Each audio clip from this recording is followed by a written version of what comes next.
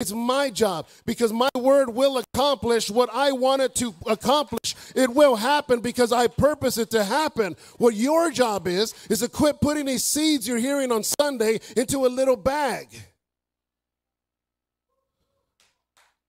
Oh, I'm here every Sunday. Nice. You got a nice bag of seeds. When are you going to start bearing it into your heart? When are you going to start bearing it into your soul? When are you going to start bearing it into your family? It's embarrassing as a Christian to have a bag of seeds. Every seed you get, be like, man, I'm not going to let the devil steal this one. I'm going to bury this one right here.